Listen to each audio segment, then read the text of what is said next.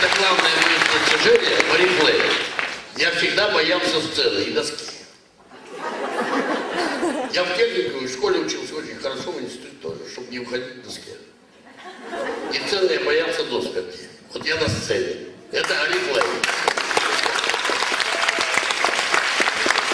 Как я попал сюда? Любовь зла, полюбишь и козла. Три года назад мы как-то сидели на празднике Ира Кулешова была, Света была. Праздновали что-то день рождения. И девчонки говорят, да, приходи к нам в Oriflame. Нет, не три, четыре года назад было. Я в то время уже получал 50 тысяч. Думаю, что за бред, какой Oriflame, какие каталоги.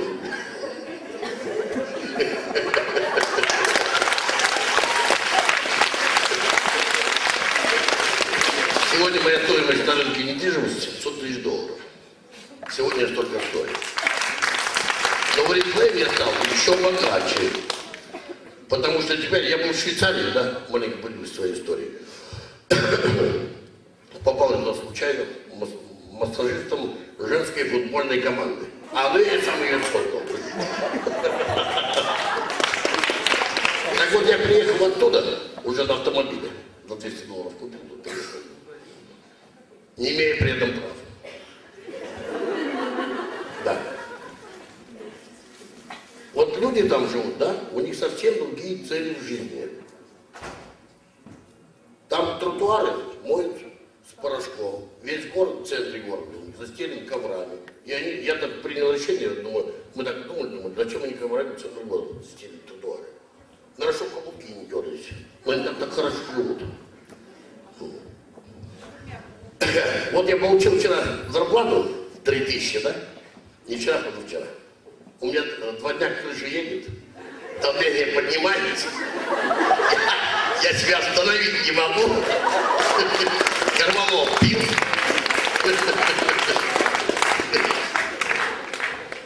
Надо мечтать. Мечтать всего, чего вы хотите. Я много мечтал, я приехал сюда в 89 году. Э, Были много мечт у меня было. Линейный бизнес. Торговал я всем абсолютно. Навоза до бриллиантов. Во всем я разбираюсь, я вам скажу. Хорошо разбираюсь, потому что я добился очень многого, да? Но я не доходил до самого главного, зачем я живу на свете вообще. В 30 лет у меня мечта была сделать женщин всех счастливыми. Ну, как это сделать?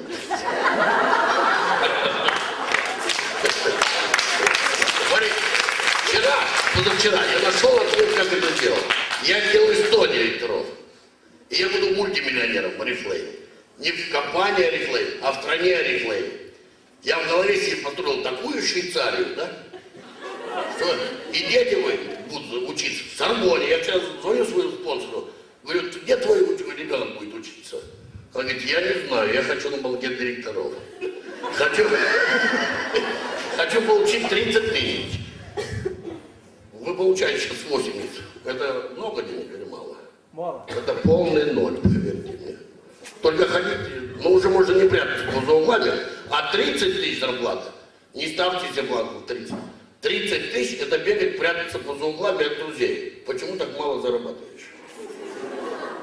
Жить на них нельзя вообще. Надо сидеть дома и не высовываться на 30 тысяч. Что, А я буду мультимиллионером. И сын мой поедет учиться в Сорбонну, лучший университет мира. Вот он здесь сейчас, он меня слышит. Ставьте ее за цены. Станься, Вань. И он будет учиться в лучшем университете мира. Это на пять лет.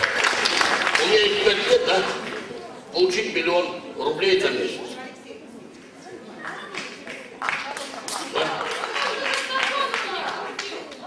Он вставал, он просто маленький, его не видно. Он маленький. Что я хотел сказать? А дальше расскажу вам про линейный бизнес. В 91 году я занимался тогда мебелью, у меня было 5 магазинов.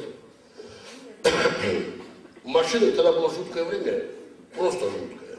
Не все машины грузовые ехали в Москву, потому что по дороге в Москву их грабили, убивали, поджигали, расстреливали, все это я был видел, все это, всему этому свидетель. Ни любой, ни один любой бизнес криминальный не может быть честным. Если ты будешь криминальный бизнес честным, тебя съедят. И я был такой же жесткий. И я ел. Это очень жестко.